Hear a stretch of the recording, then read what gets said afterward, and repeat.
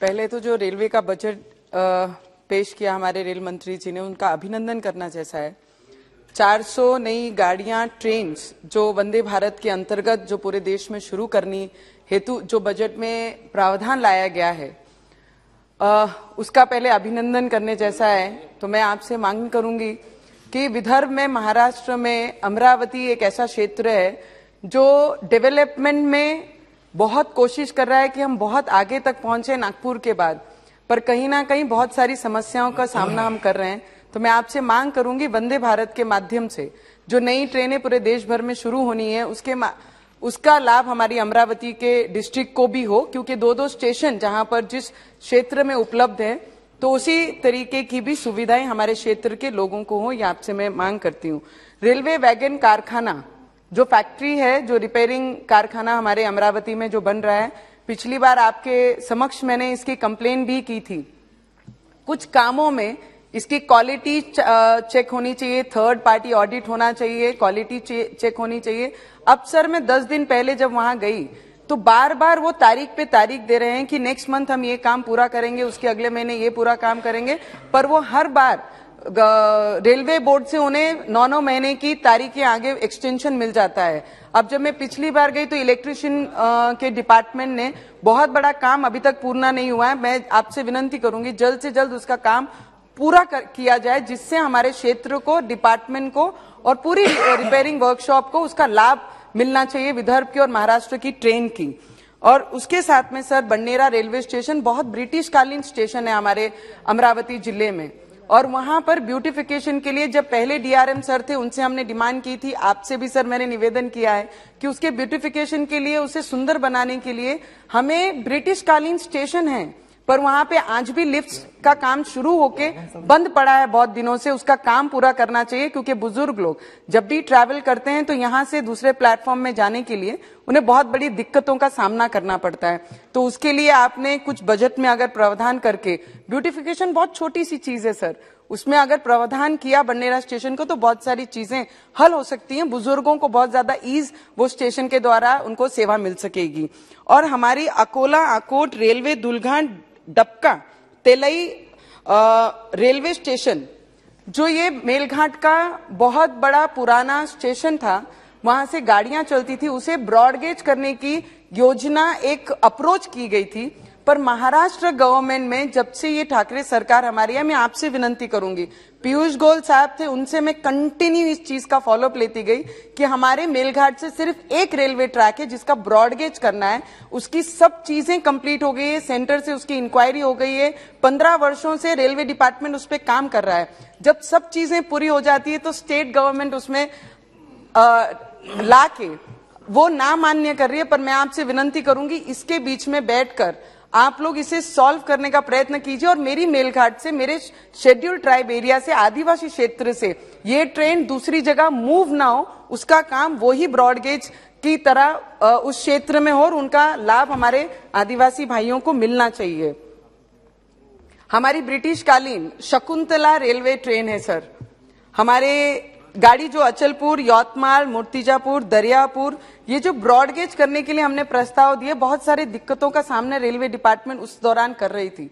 हमारी कंटिन्यू मांग थी, अगर आप ब्रॉडगेज नहीं कर पा रहे हैं तो एटलीस्ट जो ट्रेन हमारे किसानों को सुविधा देने के लिए, हर स्टेशन टू स्टेशन जाती थी, उनकी जान बनी थी हमारी, ये शकुंतला गाड़ी, ये ट्रेन आपसे मैं विनंती करूँगी, जिस भी परिस्थिति में ये ट्रेन है, उस परिस्थिति में इसे वापस शुरू किया जाए, जिससे हमारे किसानों को बहुत बड़ा फ़ायदा और लाभ मिल सकेगा, क्योंकि ये हमारे जिलों की ऐसी डिवीज़न हेडक्वार्टर है, और ये पूरे डिस्ट्रिक्टों को जोड़ने का काम हमारी ये शकुंतला ट्रेन करती है। मैं आपसे विनंती करूँगी, सर।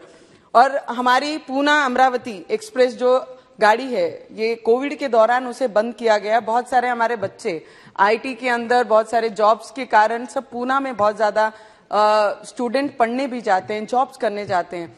ये पूना ट्रेन के लिए हमें 18 घंटे घूम के जाना पड़ता है सर मैं आपसे विनंती करूँगी वीकली तीन दिन हमें डायरेक्ट गाड़ी पूना के लिए ट्रेन दी जाए, जिससे ये लोगों को, ये वर्ग को हम मदद कर पाए और सुविधा हमारे क्षेत्र को मिल पाए सर अमरावती नरखेड़ महाराष्ट्र रेलवे मार्ग की जो रिद्धपुर हमारा तीर्थ क्षेत्र है मानभाव पंथों का बहुत सारी बार बहुत अलग अलग क्षेत्र से हमारे गडकरी साहब ने इसका फॉलोअप ले रहे हैं। हमारे आजू बाजू के जितने भी महाराष्ट्र के एमपीज हैं वो सभी इस चीज़ का फॉलोअप ले रहे हैं। वहाँ पर खुद मेहनत करके 400 मीटर का प्लेटफॉर्म वहाँ के गाँव के लोगों ने और भक्तों ने जो मानने वाले हैं मान भाव पंथों को, उन्होंने खुद प्लेटफॉर्म कच्चे मट्टी का बना के रेडी किया है। कितने वर्षों से ये स्टेशन की मांग कर रहे हैं सर आपसे मैं विनंती करूँगी, अगर वो स्टेशन हम देते हैं तो पूरे देश के जितने भी भावी भक्त हैं जो वहाँ पर आते हैं, वो उनका लाभ ले पाएँगे और उन्हें दिक्कतों का सामना नहीं कर पाएगा। इतनी मैं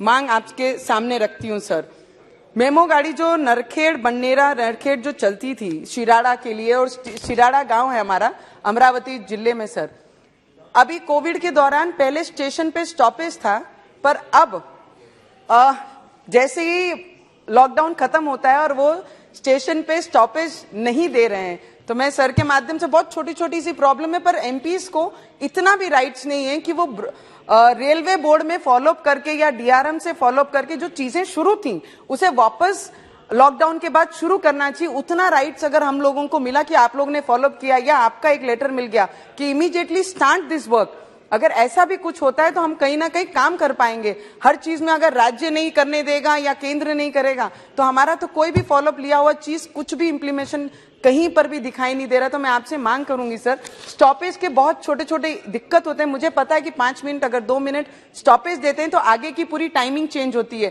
पर जो ऑलरेडी स्टॉपेज में थी उसे आपने अगर लॉकडाउन में बंद किया तो उसे प्लीज़ आप वापस से शुरू कीजिए, जिससे वहाँ के यात्रियों को उसका लाभ मिल सके। Amravati Jabalpur express, sir. हमारे एमपी साहब, बिसेन साहब यहाँ पर बैठे हुए हैं। हमारे धारनी के क्षेत्र के, बाजू के क्षेत्र के एमपी जो कंटिन्यू सर, मैं उसमें कंटिन्यू हम फॉलोअप ले रहे हैं कि जबलपुर एक्सप्रेस, जो अमरावती से, sir it is very important few few things more I have to add into this तो बहुत दिनों से हम इसका फॉलोअप ले रहे हैं सर जो अमरावती से जबलपुर चलती थी, हमने इसे एक्सटेंशन मांगा था आगे प्रयागराज तक। प्रयागराज लॉकडाउन में, प्रयागराज तो की नहीं, पर जबलपुर भी बंद कर गई। मुझे एक बताइए, नागपुर में ये 12 घंटे हॉल्ट करती है सर 12 घंटे हॉल्ट करने के वजह अगर ये अमरावती से फिर शुरू करती हैं तो जितने भी यात्री वहाँ से अमरावती से जबलपुर जाते थे, उनको इस चीज़ का लाभ मिलेगा। 12 घंटे कहीं पे वेस्ट करके उसका समय मुझे लगता है फ़ायदा देने में मुझे लगता है कहीं ना कहीं हम लोगों को लाभ दे पाएँगे। तो हमारे एमपी सदस्य भी ये चीज़ में एसोसिएट करते हैं और हमारे साथ आप, आपके यहाँ पर आके खुद हमने फॉलोअप लिया है सर और जितनी भी जनरल ट्रेन अभी जनरल टिकट्स जो है sir last two three minutes tickets का जो इशू था जो जनरल टिकट्स अभी मुझे लगता है कोविड के दौरान बंद की गई हैं उसे जल्द से जल्द हमने अगर शुरू की तो उसका लाभ सभी लोगों को, आम जनता को, क्योंकि महाराष्ट्र में बस का एसटी का, वर्करों का हड़ताल चल रहा है तो बहुत सारी सुविधाओं में दिक्कत हमारे महाराष्ट्र के, लोगों को हो रही है। तो जनरल टिकट आपने अगर शुरू की तो बहुत ज़्यादा फ़ायदा लोगों को होगा। सर, मैं आपको अभिनंदन करना चाहूँगी। पहले की गवर्नमेंट में 1100 करोड़ हमारे महाराष्ट्र को दिया जाता था ग्यारह हज़ार करोड़ रुपया रेलवे डिपार्टमेंट से। आज उसका टेन टाइम्स ज़्यादा ये सरकार हमारे महाराष्ट्र को दे रही है तो उसके लिए आपका सर मैं अभिनंदन करना चाहूँगी कि इतनी अफर्ट्स लेके रेलवे डिपार्टमेंट को स्ट्रांग बनाने का काम हमारी ये केंद्र सरकार कर रही है। सर सिर्फ़ मैं आपसे विनंती करूँगी कि ये दौरान लॉकडाउन के दौरान जो टाइम टेबल चेंज हुए हैं उसे फिर एक बार ध्यान में देते हुए लोगों को जो सुविधा है उन तक पहुंचानी चाहिए। और जो ट्रेन में साफ़ सफ़ाई का सबसे बड़ा मुद्दा है सर उस पर ध्यान देना बहुत ज़रूरी है। और रेलवे जो डीआरएम्स के ऑफ़िस है, अगर कोई कंफर्मेशन के लिए या कोई चीज़ के लिए किसी को मेल भेजना है तो वहाँ पर मेल एक्सेप्ट करते नहीं है डीआरएम ऑफ़िस में। वो कहते हैं, आपको फैक्स कीजिए। और आज हर ऑफ़िस में फैक्स कहीं उपलब्ध नहीं है, सर। तो वो फैक्स ना मांगते हुए फैक्स मांगते हैं तो उसके लिए दो दो घंटा सभी को वेट करना पड़ता है और फैक्स करना पड़ता है। मैं भुसावल डिवीज़न से बिलोंग करती हूँ सर हमको डीआरएम ऑफ़िस वहीं पड़ता है। और ये दिक्कत हम भी सामना इसका करते हैं। श्री अनुराग शर्मा जी। और मैं आपको सर ये रेलवे बजट के लिए आपके पूरे डिपार्टमेंट को और आपके पेशेंट्स को जो पॉजिटिव एटीट्यूड से आप सभी को रिसीव करते हैं उसके लिए आपका दिल से बहुत बहुत अभिनंदन करते हैं और we support you definitely sir thank you